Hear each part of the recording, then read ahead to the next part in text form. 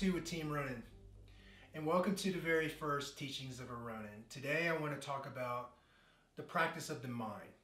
I want to talk about the importance of mental health. Like physical fitness and physical training, training your mind every single day is very critical. For how we look at the world is how we're going to live. How we look upon things is our truth. So why not train your mind to live positive? Why not train your mind to live a positive life so you can have more success, more happiness, more of a fulfilling life, right? You don't have to be a victim of trauma to worry about the practice of mental health. Truly, it should be practiced every single day, even with a person with no um, traumatic experience in their past. Mental health is one of the most important things that you can do on a daily basis. The practice of the mind has always been very important to me as a martial artist, as a warrior. But I tell you why mental health was so important to me. After my time in service, you know, I, I reached a state of depression. I did 23 years, 18 plus years of that was with the Special Forces. I traveled to 27 countries. So I experienced a lot throughout my career. And I tell you, after going from 150 miles an hour to a dead stop, well, let me tell you what happens when things come to a dead stop. The, the war, the war finally caught up with me. So at that time, you know, I reached a state of pretty bad depression. And I needed to study how the mind worked. I needed to understand how things work so I could kind of come up with a course of action in order to beat this. You know, as a special forces soldier, we're always constantly looking for intelligence. And we take the raw intelligence and we dissect that intelligence and how it pertains to us and our mission, right? My mission was to find peace. So I needed to gather the intelligence on how a mind works and how the body is connected to mind in order to come up with a course of action to to meet my end state, which was peace. And I came to realize that you know the mind is connected to the body. You ever felt? Um, you ever seen a scary movie and then you felt it throughout your entirety? You ever had a you know a thought that irritated you and you just felt that rage or you felt that pain, that heaviness in your chest. Well, that's your mind connecting to the body. A lot of bodybuilders can tell you that, you know, they make that mind connection to the body. Martial artists the same way. We make that, that mind connection to the body. Same thing with mental health. If your mind is negative, then your body is going to feel that negativity. And in time, that can truly cause sickness like cancer. A lot of times people tell me, hey, I'm fine, but yet they drink like a fish, right? So you're masking these emotions. When you mask these emotions enough, when you don't have those dependents, then that emotion is going to surface and then you're back to square one. So how do you get over traumatic events? How do you train your mind to have a positive energy? Okay.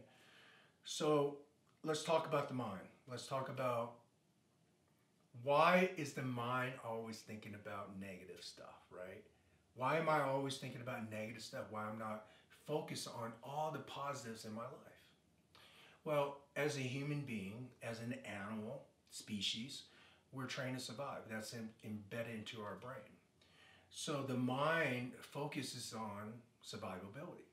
So if you face a traumatic event before, the mind is going to tell you, hey, I don't want to go there. But what happens is we overthink things. As a human being, we overanalyze. So we say, what if? What if this happens? Oh, I see this sign. I can't get over the past. You're releasing those chemicals from your mind into your body. So you're releasing the anxieties of the future. You're releasing, you know, the the sadness of your mistakes from the past. You have to let it go and you have to truly live in what is. In all of time, which is the past, the future, and the present, the present moment embodies the whole time. So you have to live within the present moment. Okay? So for me, it was about understanding that and then applying the practices in order for my mind to truly live in this present moment. Now, there's a lot of practices, right? I, I have seen it around the world. I've seen ancient monks uh, heal their bodies through just mind. Things. So, how do we train such a powerful muscle? Well, for me, it was through different forms of meditation. And there's so many practices of meditation, but I found that there was a certain series of practices that helped me. I started with mindfulness meditation, which was uh, a Eastern practice of uh, zazen, is to truly be in that present moment. Mindfulness meditation allows you to kind of block out the future and block out the past and truly dive into the present moment. And we do this through breathing exercises and positioning of the body. What I found was that this is a very hard practice, and it took me close to five years to truly understand it and, and master my mind. During the process, I had to train my mind to be in the present moment. And doing mindfulness meditation can be extremely hard, especially for people that had traumatic experience from the past. It's hard to quiet down the noises. In fact, if you just sit there right now and you just trying to concentrate on your breathing, you're going to probably think about something else. It's truly a hard practice. So, how do you implement mindfulness meditation and positivity throughout your day? All right, guys, before we get into the practical application of meditation, there's two things I want to cover. So, going back to that survivor mindset, that survivor mindset, as in it looks for comfort, it looks for the the the issues, it looks for the problems because your survivor mindset is trying to tell you, hey, look, pay attention. But a lot of these things, it won't equate to you living a peaceful life, right? So it's being able to quiet down that noise. You have to understand how to frame your day, okay? So when I say framing a day, is that you want to build discipline throughout your day. Remember what we're doing. We're trying to break out that routine that survivor mindset, the comfort zone. So, in order to do that, you have to completely be a different person. You have to take on a different mindset, a different approach to your routine, to your day. In order to move past that negative energy of the past, well, you're going to have to create new neurological pathways in your brain connected to your body. And that's by injecting positive thoughts into your mind. Before we do that, you have to understand how to frame your day right? Framing a day is super important. You have to break out from that regular routine. A lot of us go through life going, hey man, how come I don't, you know, I can't be happy? How come um, I'm not accomplishing this? How come I'm not successful in this arena? Well, it's because you're probably doing the same thing every single day. You have to change that routine. You truly have to make time to improve yourself every single day if you have a set routine and set schedule, in time it becomes habit. And what I want to do is I want to establish a habit of discipline every day. It's about defeating your day. So for me, I get up at I get up pretty early in the morning. I get up at five o'clock in the morning. And people are like, whoa, why do you get up so early, right? The reason why is because the survivor mind that seeks the comfort that seeks to lay in that warm bed. You have to break that up. So by getting up early, it allows me to build that discipline. It allows me to break that weak mindset of seeking comfort. Second, it allows me to truly get up before the sun comes up. It allows me to work on myself prior to the day. So if I'm able to frame the day, that means if I'm able to get up early and I'm able to meditate, it puts my mind in a positive mood. And throughout the day, I'm more productive. I have more energy. So, as a businessman, that's super important to have that energy so you can give to the business, so you can give to others. So, truly, it's about renewing the mind. It's about changing your daily routine to become the person you wish to be. So, when do I meditate? I meditate uh, early in the morning and I meditate late at night. And those are two different forms of meditation. So let's talk about the practice of meditation. So when do I meditate? I meditate early in the morning because it puts me in a positive mood. If I'm in a positive mood, then I can project more energy towards whatever I'm directing towards that day. I can project more energy towards others. I can help more because I have that energy. And that's what you want in the morning. You want to inject that positivity into your mind, and then in return, it will be delivered throughout your body. So let's talk about the place, right? Where do I meditate? Well, anywhere that you feel comfortable, right? And you can, I personally like to meditate outside because I love nature and I like to connect with that energy. But if it's cold, because I live here in Colorado, um, sometimes I'll meditate inside. It's it's really where you feel comfortable, right, in a quiet place where you're not going to be disturbed. Right, let's talk about body position. All right, so I'm not really particular on how you get your body position, long as you're comfortable. Okay, so you can stand, you can lay down, or you can sit in traditional uh, zazen meditation uh, positions. If you want to practice the traditional way, then usually what I do is I have a meditation um, mat, you can kind of see it here, and a meditation pillow. These two things you can purchase as a package on Amazon.com. So then you go down to your usual meditation position, okay? So have designated places that you go to to meditate because the more comfortable you are in these areas, the better that you can lock on to that meditation, that present moment. In the morning, when I go into my meditation, in the morning is about positive energy. It's about mindfulness, gratitude, and positive energy. So those are the energies now I'm injecting to my bodies in the morning. At nighttime is more about reflection, you know, so it's a different type of meditation. So let's talk about the morning. Let's talk about prepping your meditation. So prepping meditation is super important. You want to go to your meditation position, right? So in a sitting position, I usually sit like Indian style. Whatever's comfortable for you. Some of you guys got injuries. It's okay to lay down. It's okay to sit down on the couch or it's okay to sit in the style, whatever it's comfortable for you. Before I even go into meditation, I want to talk about prepping the meditation. Prepping the meditation is changing the physiology of your body. All right. So for me, when I was in the special forces, if I was scared, right, if I was facing fear, I would change my physiology. That means I would, I would just smile, right? And and the brain is connected to that muscle, right? The brain is connected to the body, like I said before. So you have established that neurological pathway to your brain. You're communicating with your brain by smiling. It delivers those signals that hey, everything's good, everything's all right. So when I'm facing fear, I change my physiology. So when I wake up in the morning, I have to wake up my brain, right? Because you know, in the mornings I'm still kind of not awake yet. So to wake up my brain, I change my breathing patterns.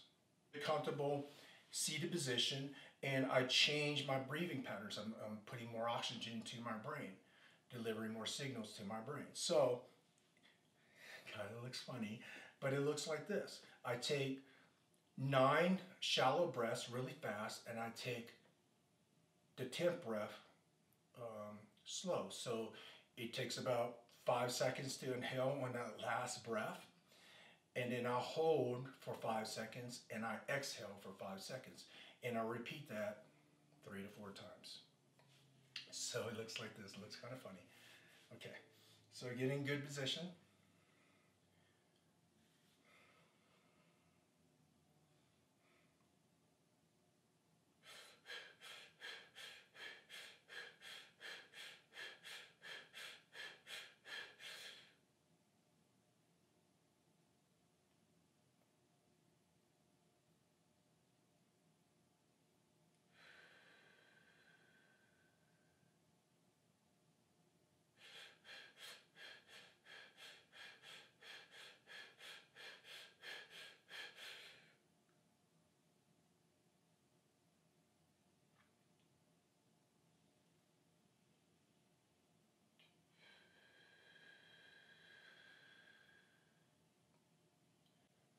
All right, guys, so now your turn. Try to breathe nine times really fast. This is the pace. And then your 10th breath, five seconds to inhale, hold for five seconds, five seconds exhale. The only thing I want you to concentrate is just your breathing right now. This is not meditation. This is prepping for the meditation. This is changing your physiology. Okay? So what I'm doing is I'm waking up that brain. Okay? So once I wake up that brain, after about three to four reps, I can feel my brain kind of waking up. Right? So my body's waking up. So after I I do three to four reps of that, I go into a state of gratitude. Right? So I'm you know, I'm just expanding that energy. I'm showing my gratitude to God. I'm showing my gratitude for life and the blessings that um, God has given me. So after I finish breathing, I go into a state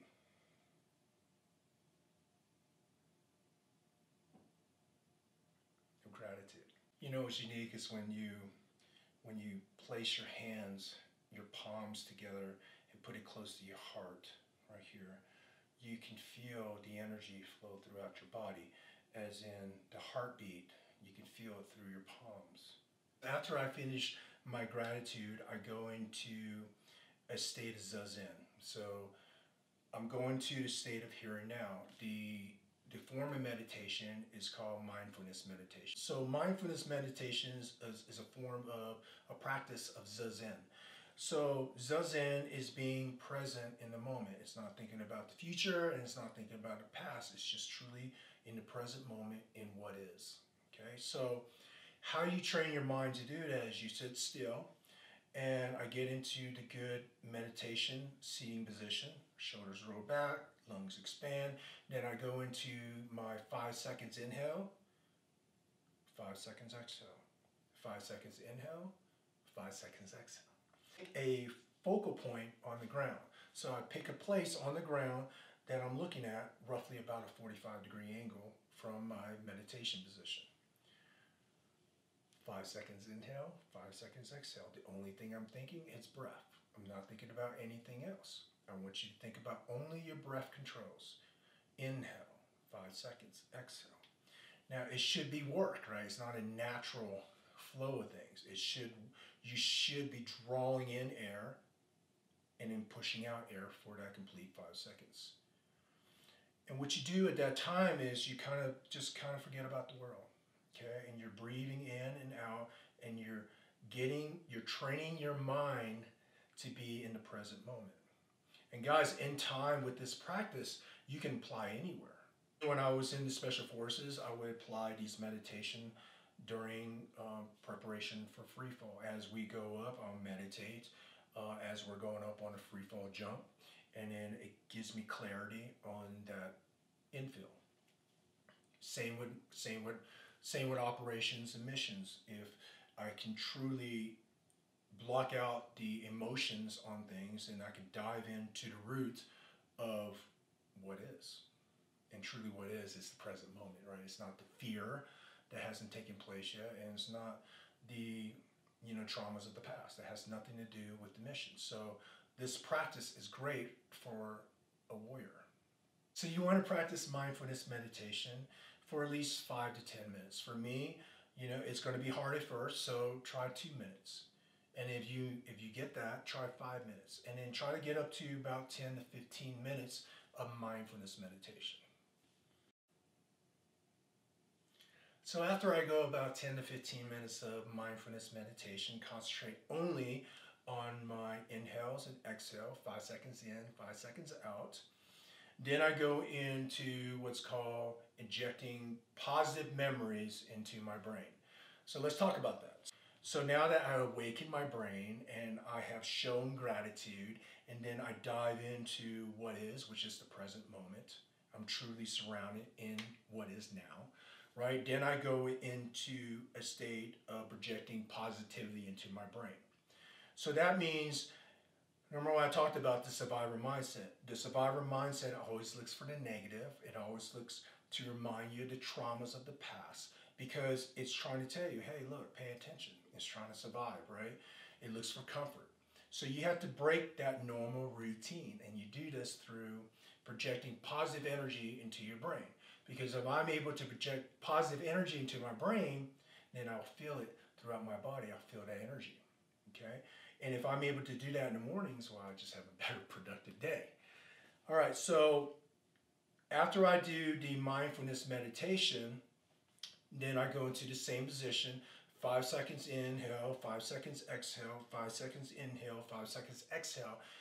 But at this time, I don't concentrate on my breath. I concentrate on a positive experience. Just like a negative experience, right? When you have, when I, when I, when you talk about a negative experience, well, there's an emotion tied to that experience. Truly, you can fabricate that emotion in your mind. You can fabricate that memory in your mind, and you can feel it throughout your body. That's why people have anxiety attacks, depressions, and all that. So if you're able to reverse the cycle and you're able to project positivity in your brain, then that delivers positive signals into your body, giving you more energy, giving you more positivity in life, allowing you to live happy and full. All right, so get into a good seating position. Expand your lungs. Five second inhale, five seconds exhale. Now, what I'm doing is I'm thinking about something that's positive a positive experience and I'm projecting it on my brain. It can be meeting the one you love. It can be uh, your house, your car, your accomplishments, whatever. Find that moment that you're like, wow, this is great. Okay, so find that happy day and go back to that happy day and project that memory into your brain. As you do this and as you're breathing in time, you're going to still, you're going to start feeling the energy grow in your core. You're going to start feeling the energy grow in your body. And the more positivity you inject into your mind during your meditation, the more energy you're going to feel. Okay. The reason why I go into the positivity portion last because it gives me that positive, it gives me that energy I need. And then the last step after I have gone through, you know, prepping the meditation, by awakening my mind, changing my physiology. I go into a state of gratitude. I go into a state of mindfulness, zazen, and then I project positivity, which is about 10 to 15 minutes. So altogether, it's about 30 minutes for me to meditate in the morning. After I go into positivity meditation is about, man, it's about releasing that energy, right? Because truly the body is connected to the mind. For me, it's about physical fitness. It's about going down to the gym and it's about releasing that energy in a very positive way. And what I find when I do this, right, in the mornings is, gosh, guys, I'm telling you, I have a lot of energy. A lot of energy throughout my day if I'm able to do these necessary steps in the morning to kind of prep me for a positive day. If you're able to frame your day, if you're able to uh, master day, and you're able to do that consistently, in time, you're going to be successful whatever you do. In time, you're going to meet that, that goal. You're going to meet that happiness, that fulfillment, that success, or whatever you're doing.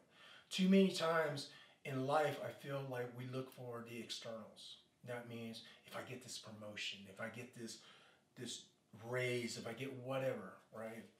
Uh, if I get this position, those are all external things. Those are all external things. Yes, you want to work for that. You want to strive to be the best person you can be, but truly it's about working on yourself. Working yourself in the morning and establish that positivity by framing your day, you're just going to be more productive throughout the day. And for the people that are facing depression and facing traumatic experience from the past, this is truly how you're able to sever it. You're able to sever all those negative negative thoughts that's projecting all these toxins into your body by projecting positive thoughts in the morning through breathing and meditation and gratitude. Okay?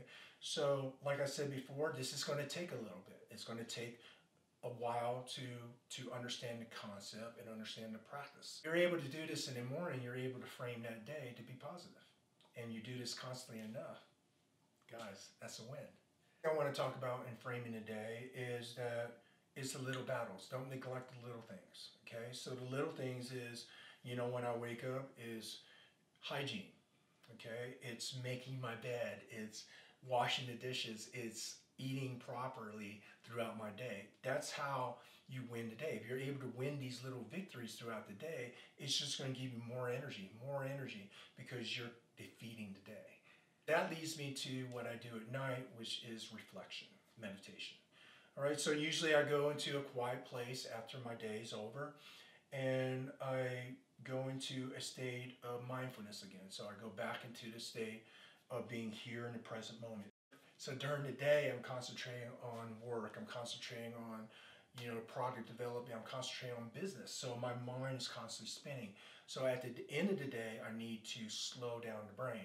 So I do this by meditating at night. And I, I start meditating at night after my duty day is over.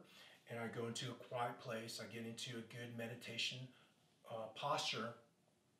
And I go into mindfulness meditation. So I do the same thing I did in the morning, right? The mindfulness meditation to be here in the present moment, right? By five seconds in, five seconds out I'm fixing on a focal point at a 45 degree angle and I'm just concentrating on being in that present moment. After I finish that, it goes into about 15 to 20 minutes of reflecting on that day. Did I accomplish everything that I need that day? What did I do to fell short of that day? I truly go into that state of reflection, right? Because if you're able to reflect back on the day, then well, you won't make the same mistakes that you did the day prior, right? So that's the thing is that if you make mistakes during that day, you fell short. Hey guys, we all make mistakes. We're human beings. But you're able to fix yourself the next day when that's a win. All right, guys, so that's how I frame my day. And I hope that this practice of Zazen and living in the present moment can truly help you. So let's recap. First, I get up early in the morning because I'm defeating routine. Second, I go into a state of wakening my mind by prepping the meditation, by breathing. And then I go into gratitude, mindfulness meditation for 10 to 15 minutes. And then I go into positive meditation for 10 to 15 minutes. Then I go into physical training to release that energy. At the end of the day, I go into more of a state of reflecting meditation where I, I reflect back on the day and I look at the positivities and I look at the negatives and then I try to fix all the negatives the next day. Alright guys, so that's how I frame my day and that's how I apply, you know, mindfulness and zazen to my daily life. Don't neglect training the mind, right? Too many times we concentrate too much on the physical aspects of training the mind is how we look at the world. So if you have a strong mind, you're going to look at the world with a strong attitude. So train train your mind, train your brain every single day to be positive and you'll live a positive life. If you're able to defeat the day consistently, well, that's the recipe for success, happiness, fulfillment. So don't stop. Don't give up on yourself. It takes time. So I asked the monk one time, what's the best form of meditation? And the monk said, the one that you do every single day. So don't give up. A journey of a thousand miles begin with a single step. Into our next teachings of Ronin, life in every breath.